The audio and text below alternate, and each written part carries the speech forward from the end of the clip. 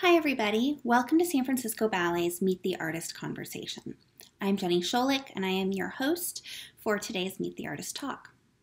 For those of you here in San Francisco, you know that these conversations normally happen immediately before a performance in the War Memorial Opera House.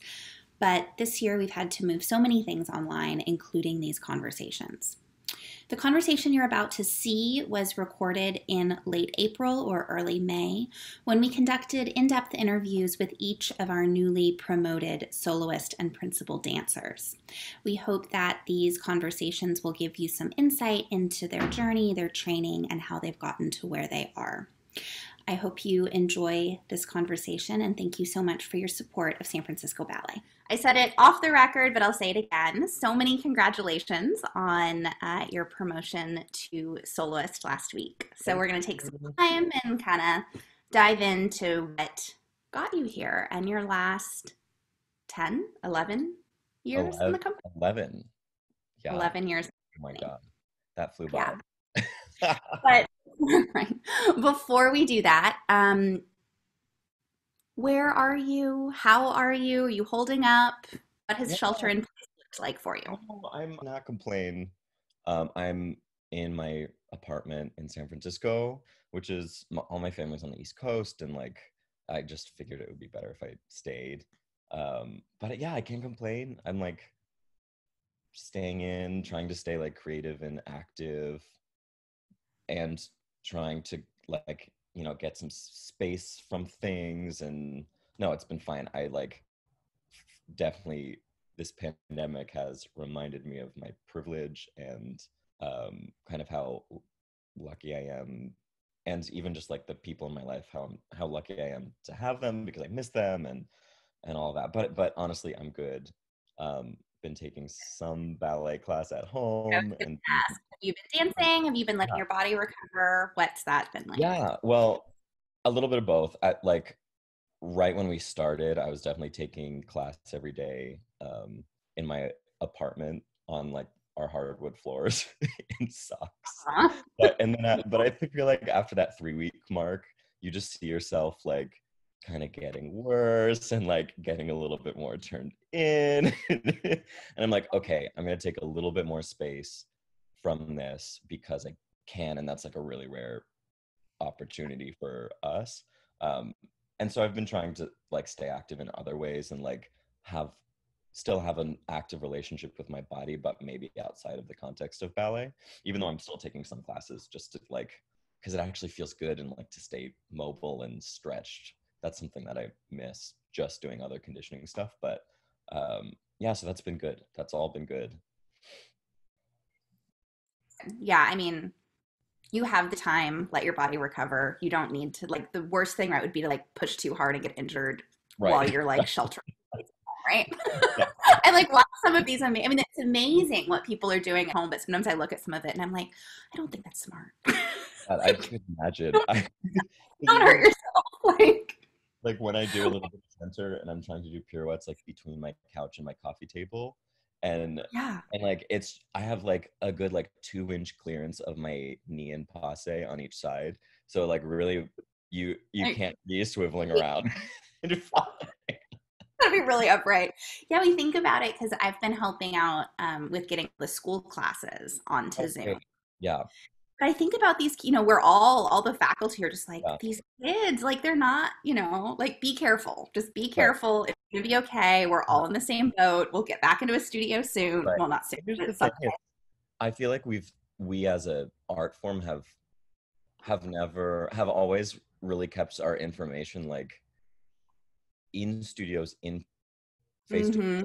people. Yeah. It's really interesting to see everyone be so generous with their knowledge and their experience and because now you can log on for free to be taught like be taught by artistic directors across the Yeah. country like it's insane and and i think like i mean even as a professional i'm still trying to take advantage of that and i can't imagine if i was a kid i would be like just eyes wide open trying to soak up everything so i think that i think that kind of that breaking breaking down of what we think we know about this art form and how we share information um, is going to be really important once we kind of get back in a, a more normal setting. I, I, I think that's really a special silver lining about this experience. Yeah, it has. The world has changed, and it's not going to go back exactly the was. There's going to be ramifications for a long time, good and bad, I think. Yeah. Well, you mentioned being a young ballet student, so I'm going to take that as my opportunity to segue into talking about your life as a young ballet student. Um, how did you started in dance? Where were you? What was that like? Um, okay, I I feel like I've told this story a few times, and every time I shape it a little bit more. So forgive me. But it started.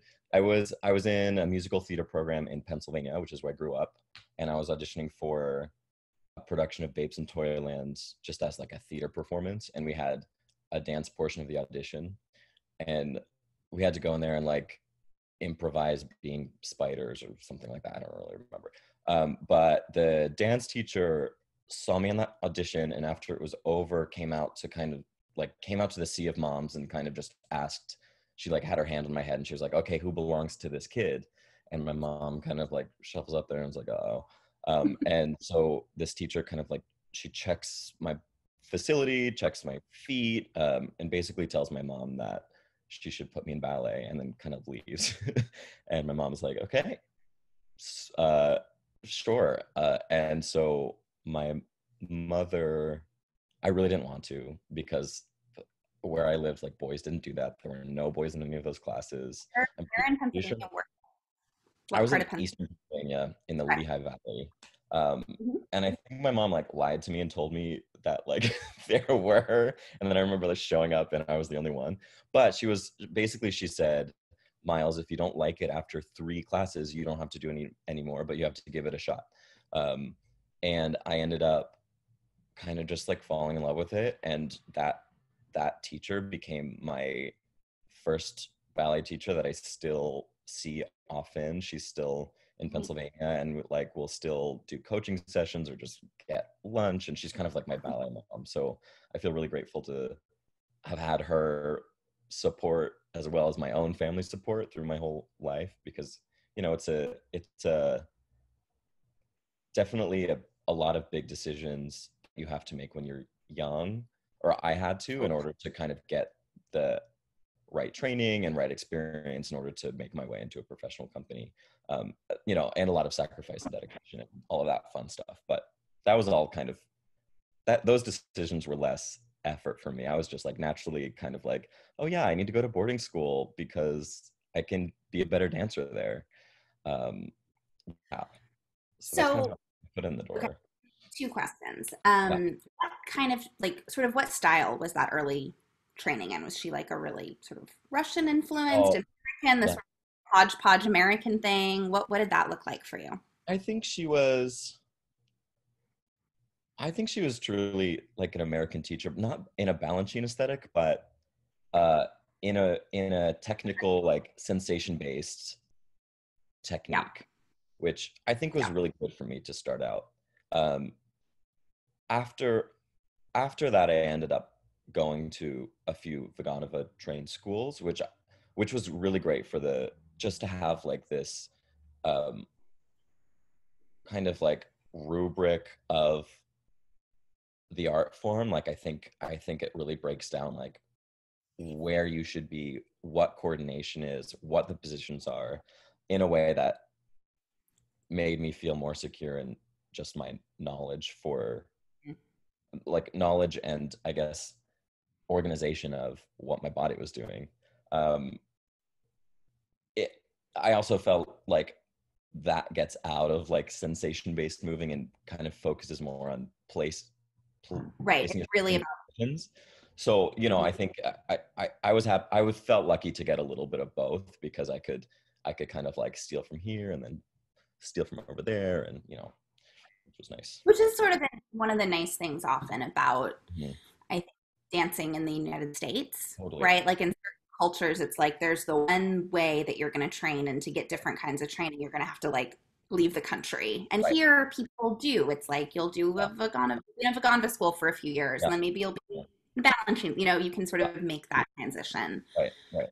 pull from things. Yeah. Um, so speaking of Vaganova training, you made your way to Harid. Yes. How old were you? What was that decision like to go off to boarding school in a very kind of intense?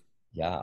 Well, I so be right before we made that decision because that was de- you know I wouldn't have been able to go if my parents weren't supportive. Supportive. So I have to say that was really a family decision too.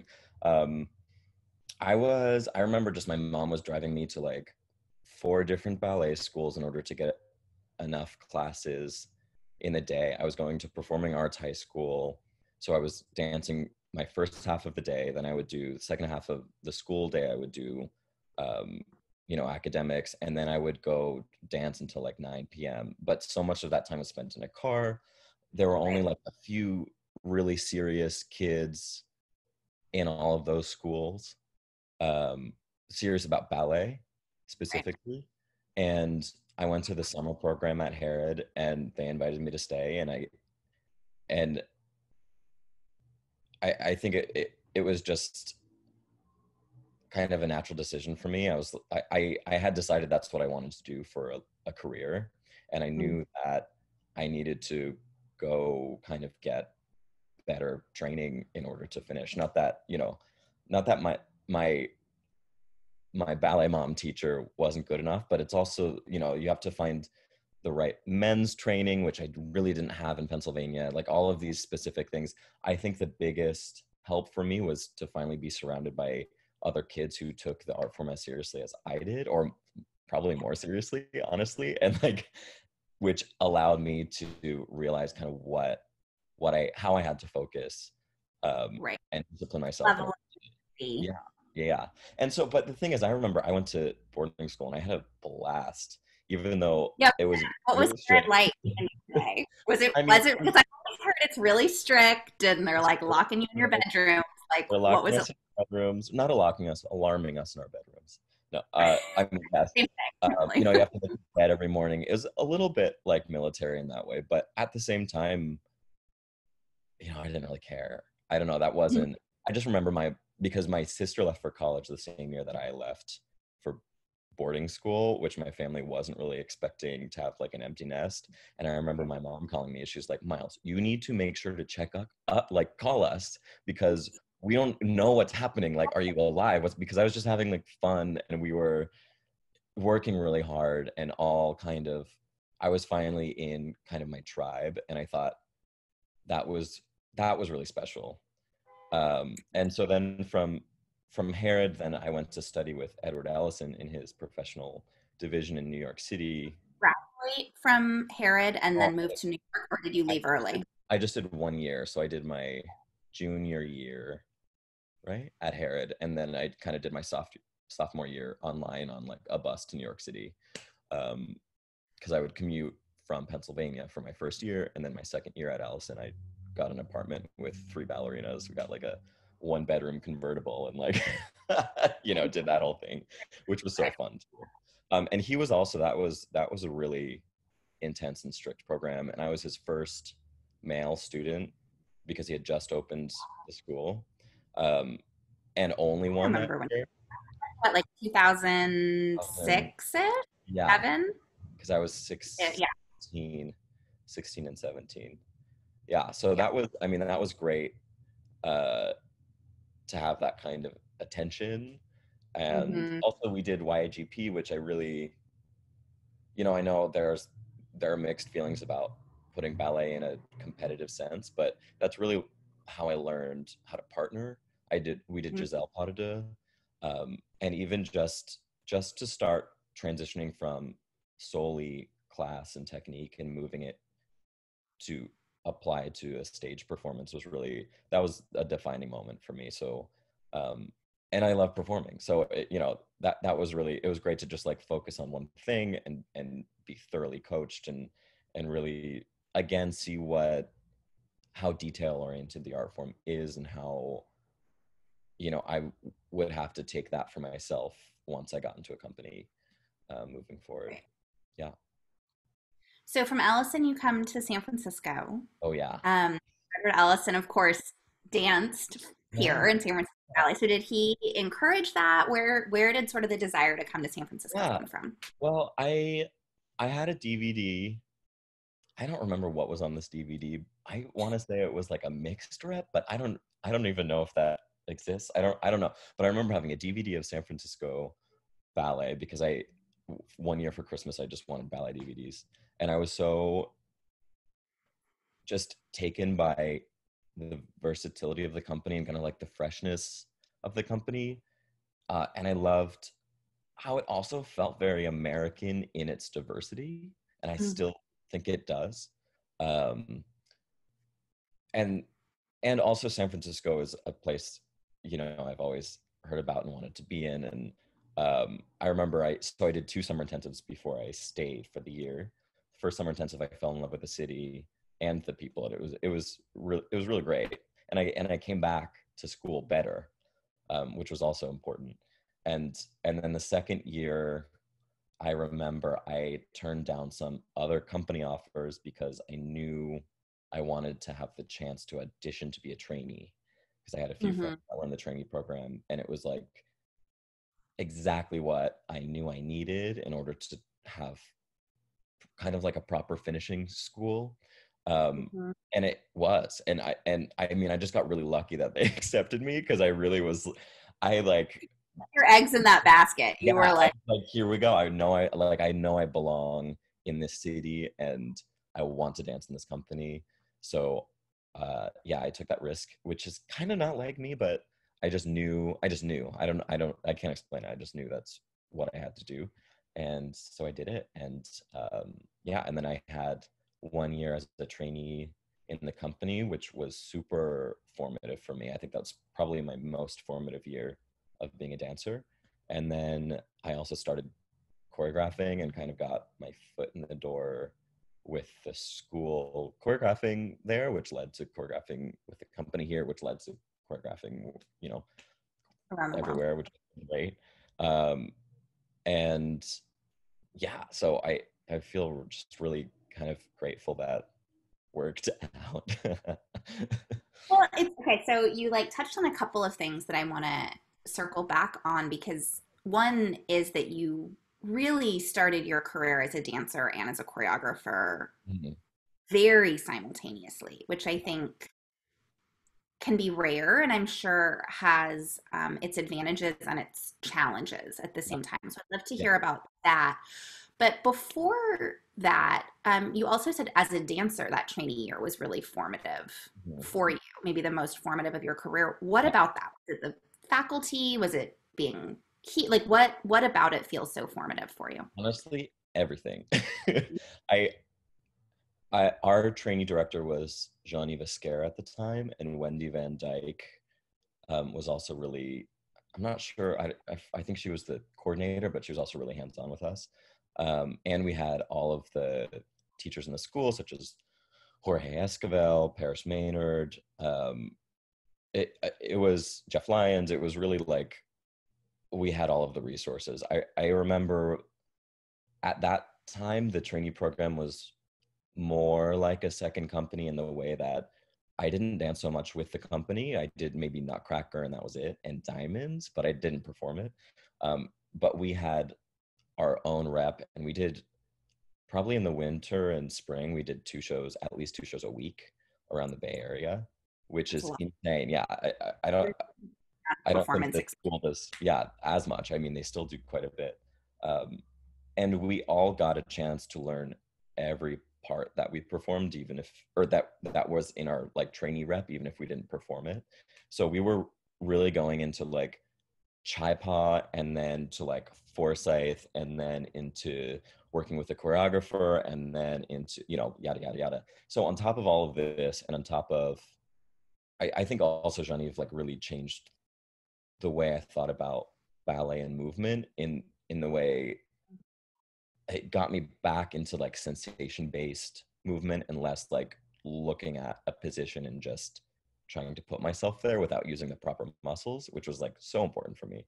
Um, and and I would I would do my whole trainee day and then go do like intermediate men's class at the end of the day, often just to like get as much information as I can. So on top of that, we also did, like I mentioned, a choreography workshop. We would do improv workshops. We did teaching workshops. We learned how to do kind of like stage makeup. We had a tour of the opera house and got to talk to like the lighting, the resident lighting designer and like see the electric board. We got to, you know, go upstairs and see the company. It, we really, I think the focus of the program was to not only like train us as dancers, but introduce us to all of these facets of the art form that also we could transition into because I think they're really just interested in showing us the possibilities of what this world can offer. Um, and that was really formative for me. Uh, and I feel like I took a lot from that as now I am kind of do like I have my hands in a lot of different parts of the art form. So um, yeah, it's awesome. Really hard. A lot of very, a lot of hard work. that sounds like it was a lot of work. Yeah. but a kind of well-rounded program for you, yeah, right? So, Learned so much, got to see yeah. so much. Yeah, yeah. And I also, I also just think I like, I've done, I think I've done like six years where I've worked with the trainees since. Right. And so I just feel really integrated into that program. And I love, like, I love going back down in the school and just like choreographing with them or doing improv exercises or whatever and and it's just a really special time in a dancer's career so i i learn a lot from them still like it's still giving back to me and that's kind of the crazy part yeah that you've had such a long-standing relationship yeah, with yeah, that program yeah, so really coming back around you started choreographing at the same time that you were a trainee mm-hmm. um, talk about that talk about kind of coming up both uh, into the company sort of simultaneously as a dancer and a choreographer, and what those two sides of your career have kind of fed to each other. Yeah, I think um, so. Basically, the choreographic portion of the train year was optional, um, but it was at the same time like one of the pieces w- would be chosen to go to a festival we were going to next year. So I felt that there was pressure, but I really wanted to do something that was kind of honest and interesting to me and not to make work to please other people. And I mean, that is the constant struggle of being an artist, right? Um, yeah. And so that was kind of my like guiding north star at the moment, and I kind of think still is like that's the one thing I've kept kept with me. Maybe not the one thing, but one of the things I've kept with me. Um, luckily, my piece was chosen that year, and I kind of I got to make a few pieces within the school before I started working with the company. And it was it would just be like, oh yeah, that piece was good. Can you make another one? And Just say yeah, and that just kind of kept happening. Um, I remember feeling, which I think this was the best thing for me, feeling like I had all of this studio time and all of these dancers and really like nobody in there to shape what I was doing, which at first scared. I was terrified of that. I was like, I they're just putting me in the studio with these dancers and hoping something happens. And like, yeah, exactly. And I think that really like that that's that was super helpful f- for me because it really felt like an instapot of of forming my values and identities as a choreographer not not just with like the end product but with my process which i still find ultimately the most important thing is like to fully take care of this art form and not just put something pretty on stage. Just because i understand that's for me that's what it's going to take or that's what it has taken to give this art form longevity. Because um, if nobody wants to be in there dancing nobody's going to keep dancing basically. Uh, and there's so much you know good stuff about that. Right? There's a kind of integrity to yeah an integrity, yeah, right? Yeah, yeah. Um, well. yeah, I totally agree with that.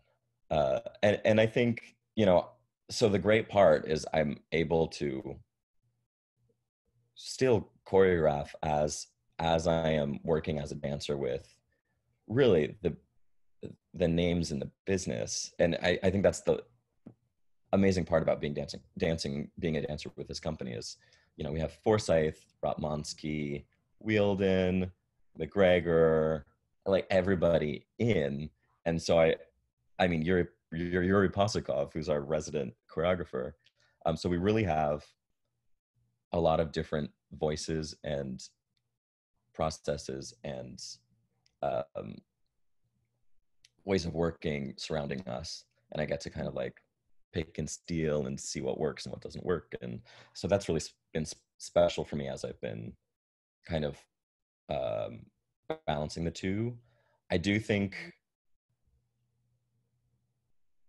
i do think choosing to prioritize or to to stay choreographing as i am dancing does you, you know i think both are careers that take 100% of your being. so there are times where I'm away choreographing and I miss that like take me out of six ballets in a rep. You know, like there are moments where I'll I'll come back one day late and then I can't be in any of those ballets. And I think, you know, that's been that's been the toughest part is just just trying to figure out where your priorities need to be and especially in in my opinion like my i really need to flip my how my brain works depending what hat i have on right because if i'm dancing i'm more i'm kind of focused on my body and um my environment in a physical way and conditioning myself and making sure i kind of like have this this one focus. And when you're choreographing you you really ha- like it it i have to be in a more cerebral place. I have to be uh managing energies in a room. I'm constantly constantly mulling over the structure of the piece and the mood and what i want to say and checking back in with your gut and like especially and then there's like just even just like okay connecting with your lighting designer your costume designer your set designer checking with the dancers making sure the director's happy, blah, blah, blah, like all of these things, and like which right. comes with the job. So so that's that's one thing that's tough. That's tough, honestly, and and that was one thing that you know this pandemic has led me to see that I put a lot of my pl- on my plate, and I rarely have any free time. And once we had that shelter in place, I was like, oh. I can finally like listen to myself again and kind of be settled within who I am like maybe I need to start taking some steps to incorporate some decompression time in my life, maybe. but you know, that's just that's part of it, and and it's it's a really special thing that I already have, you know, 11 years experience under my belt as a choreographer, um, while I'm still dancing because. And you're so young still. Yeah, just yeah. I I think I have a better sense of like I can go like once I'm ready to to really take the reins on that, I I'll have a good understanding of who I am and what I want to do and say, and already have a, a little established rep and reputation and things like that. So I feel I feel really grateful for all of that. So I do want to circle back around to you as a dancer, but while we're talking about you as a choreographer, this is a pre-recorded interview and we can release it whenever we want. Great. So I know, and soon the world will know that you are supposed to have a new ballet on the season next yeah. year. Yeah. Have you about it? Or is Sorry. that just like way too far? Have you started well, thinking about it at all? Yeah. I'm I'm getting my uh, ducks in a row for that, but I still haven't made the concrete concrete decisions about music and designers so or dancers so i'll keep you posted as i'm going i have yeah i have some uh, options i'm really excited about uh, that i've been wanting to do for a while so i ho- hopefully yeah hopefully it'll work out. I mean as long as we can be back in a theater right? Or else we're gonna figure out how to do it. Ah, I know. That's. I think that'll be an exciting opportunity. We need to be there, so hopefully, I really hope we will be back in the opera house. Me too. I miss. I miss it. It's like home. I know. I know. And there's like a certain lovely intimacy about getting to do like these kinds of conversations, like actually one on one and not in front of an audience. And yet yeah. I kind of miss. It. I've yeah. got to admit, yeah. I've missed the people like sitting and watching this conversation. Totally. So you know, we'll see. Um, but I do want to circle back on you as a dancer and kind of, as you said, reflecting back on the um, 11 years that you've mm-hmm. been. What are some of the kind of standout moments for you from a dance perspective? Like highlights, moments um, you remember age, I think, yeah, I think one of my one of my first big roles was Benjamin and Cinderella because uh, I mm-hmm. got to dance that the first year it was created and like really be in the studio as it was being shaped. And I think at that point, Taras Domitro was um, the original cast here in San Francisco. Uh, and that's also something that I've continued to dance for what, the mm-hmm. eight years? I think we've done it like six times in the last eight years. It's kind of like our bread and butter, right? Um, and I what I like about that is Chris Wheeldon, the choreographer, really allowed us to play with it, and especially like the prince is a little bit more i think like the principal couple the prince and cinderella are a little bit more serious and ben benjamin and clem his love interest really get to be the comedic relief but also have a lot of dancing um and and that's just fun because i you know i I love dancing, and but I also love theater, and I love to like make people laugh, and I love physical comedy. So that's something that um, we were we were kind of each allowed to shape on our own, and um, and that was a really special thing, and still is. We just danced it this season. I think we did it in our fir- first program, and I got to dance with Ellen Rose, which was great. Um, so that was really continues to be really a big big one for me.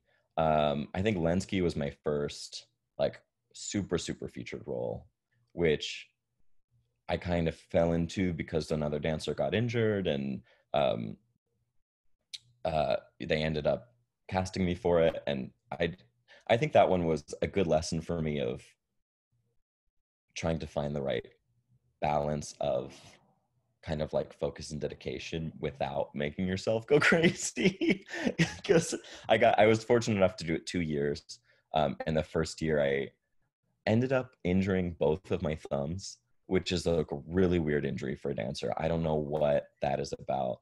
Um, but but ultimately, I think I was I was really feeling the pressure and and kind of like just beating myself up over it and and kind of lost the joy a little bit.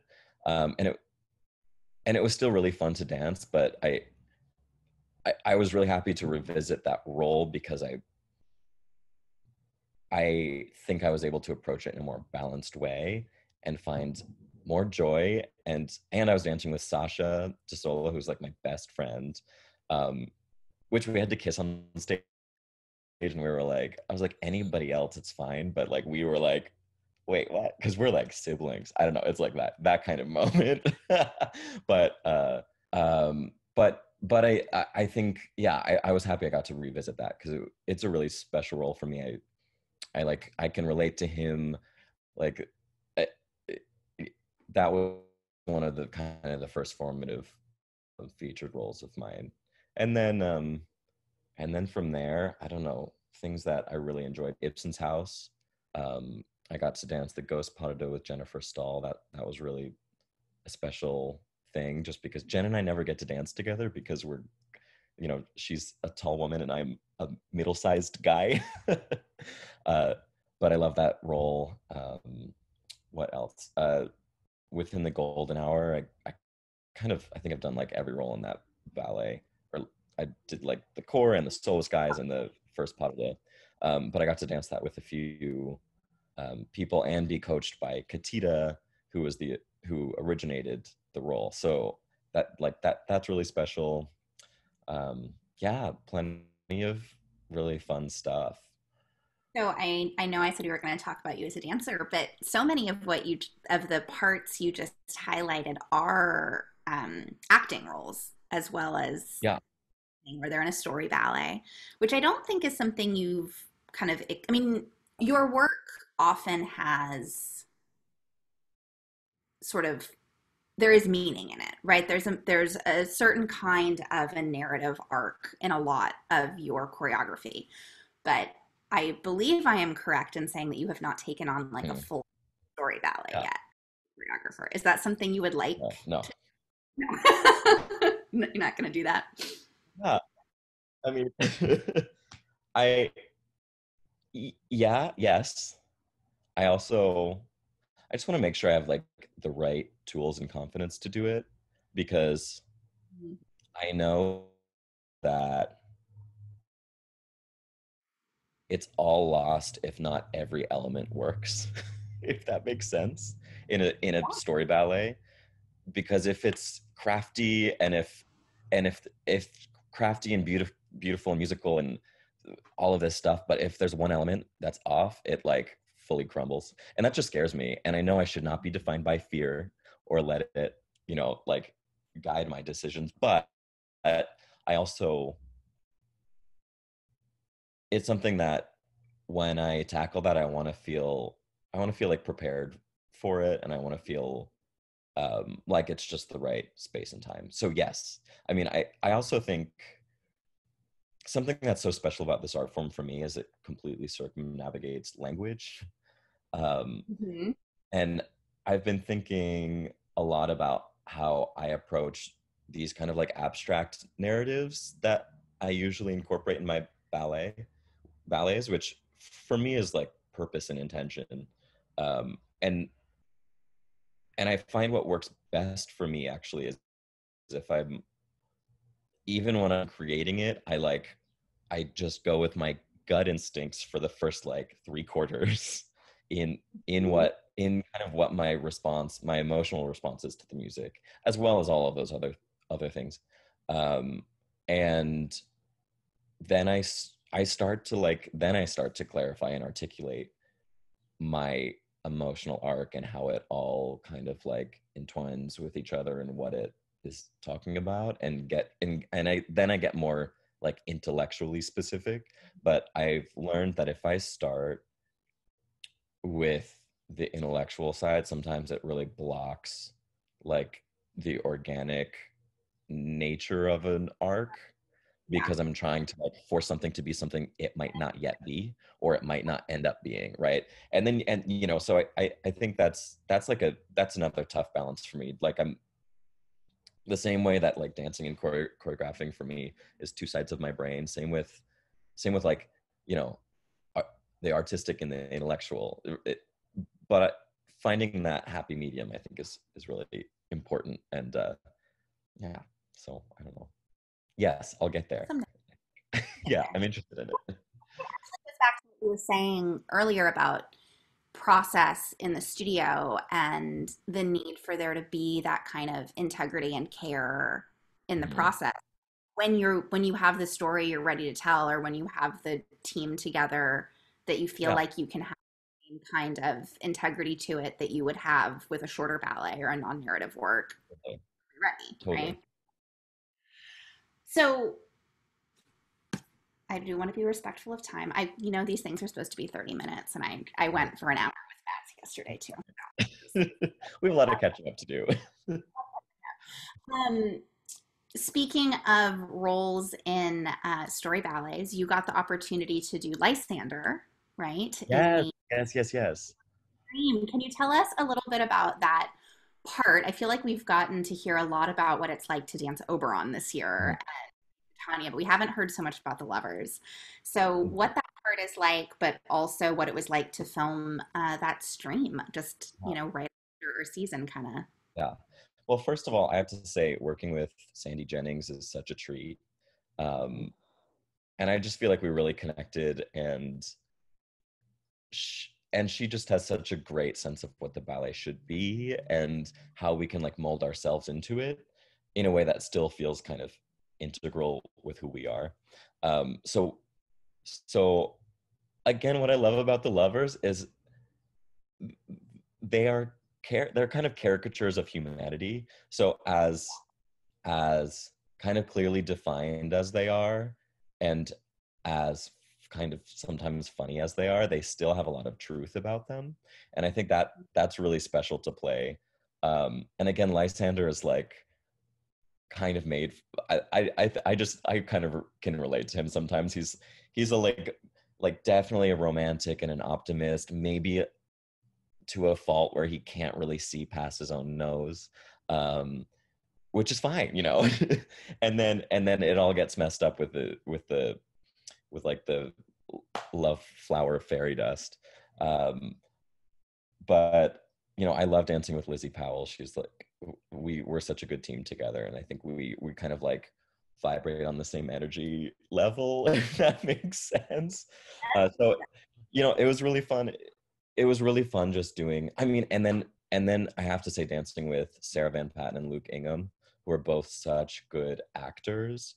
Um, was a real treat for me because you just get lost in it. And and and that was really special especially during the filming when there's like that little bit of added pressure and um so that was really fun. I i loved yeah. People were going to get to see all of it right? Yeah which is such a special way to view ballet because it's kind of rare and especially for those parts a lot of it is acting as well. Um and of course all of us were like how should we do we tone it down? Do we what do we do with this? You know because like i think that what we had like eight or 12 cameras cameras in the theater um which was for me that's a little more nerve wracking than a live audience because you know i like to think they can like feel your energy and they don't see everything and yada yada but i had to realize that you know the like Sandy and Helgi and um, the company's going to make us look good. So you know, I, I, you have to trust them. They know what they're doing. So, but it, I have to say, it was really, it was equally as strange as it was kind of magical to do that last show because this was already it was like right before the shelter in place orders happened um we I think we could all sense it was like the last thing we would do in a long time. And it it it was really like dancers, orchestra, stage crew, hair and makeup, kind of everybody coming together like bravo the kids everybody to come coming together to do to, to do this thing and and we we had the pressure of a live performance with no audience or applause which i also i always feel like an audience is one of your like fellow dancers in the way that they contribute their energy and whatever energy they bring affects the show.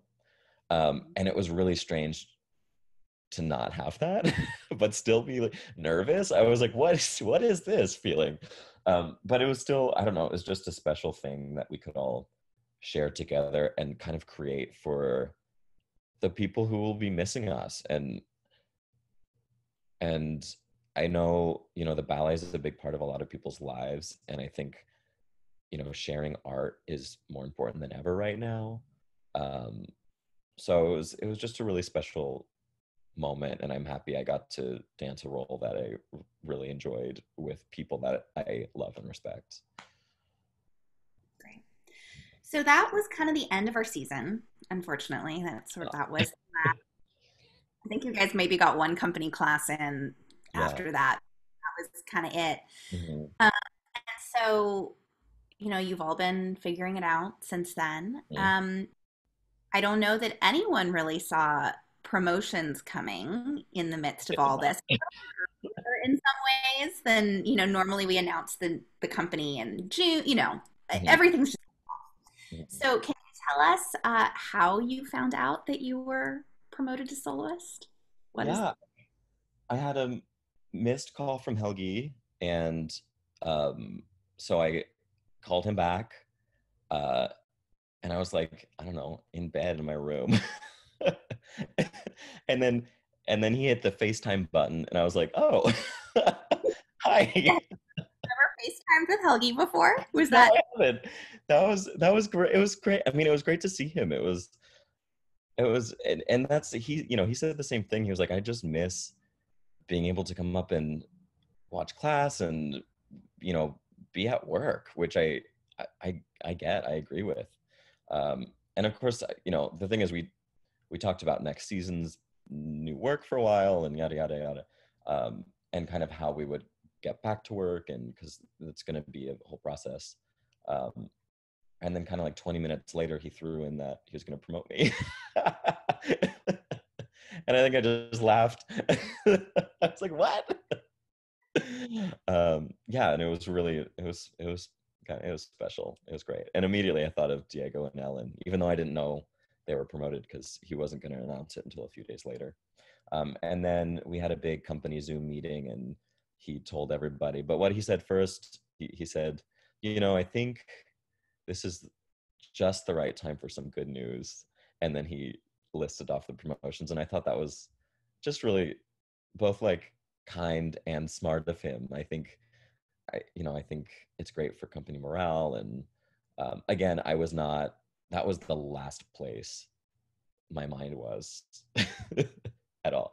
So it was a big surprise, very unexpected, especially amidst all of the craziness of what's happening right now. So yeah. Well, congratulations. Thanks.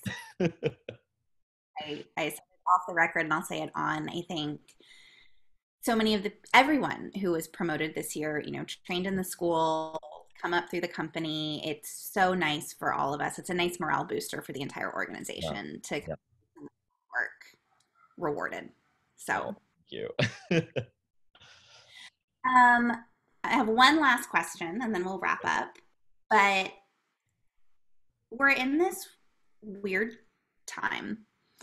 Um, what are some of the things you're doing to kind of stay sane amongst all of it or what are what it, what would you recommend maybe to a young student who's out there and listening to this and trying to figure out their yeah. lives I know. I mean, I think a lot of us feel that we don't even know like what how the art form will change after this how theaters mm-hmm. will be affected and for how long and i think it it that's scary i that's undoubtedly scary um but what gives me hope is seeing how much the community really cares about dance like I've been able like the classes I've been able to take over like Instagram live or Zoom or whatever, I've I've been like learning some like European voguing. I've been doing like contemporary master classes. Like the resources that this is opening up is is really special. And um I think even just the amount of ballets that are online right now. Uh, oh, just the information i like i honestly think this is like cracking the egg of the industry in a lot of ways that um of course every we have been you know protecting artists integrity and copyright issues and everything like that and which is important and i understand everything behind that but what i'm hoping is that this will change the art form in the way that we see that online content will never replace live theater and perhaps can further cultivate our theater audiences. In in the way that I went to go see Beyonce a few years ago live in concert because I know who Beyonce is because I listened to her on Spotify, I've seen her music videos, I follow her on Instagram, and, and you still and I still will pay however much I paid, which I don't even want to mention. I don't even remember to to see and still one of my favorite concerts to this day because it was immaculate, right? Um, and and you can't replace that with online content like or video footage or yada yada yada. So I think that's that. I think that I'm hoping that that we're gonna understand differently where dance can live and also to see just like the amount of creative things that people are doing with the art form at home is is special and how you know we're all being pushed to kind of figure out okay so like okay so we can't do this over here now let's try over here and kind of like the magic that creates as well i think is super special so um again like i think art lives in the law of abundance like i think there's no limitations to what we can manage and sometimes tough moments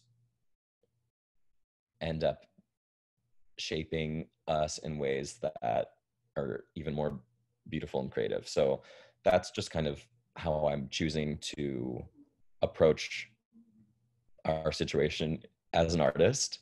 And um, also, that's like keeping me busy. Like, I try and just be creative every day, whether it's dance or makeup or you know crafting or cooking or whatever that is and that's that's been keeping me sane so that's yeah. great. And for all of our audiences out there, I'd wanted to find time to talk about some of your other projects, and we are at time. So I, we're not going to go there, but yeah. everyone your Instagram, yeah. where lots of your other projects live. You're what, at Myles Thatcher?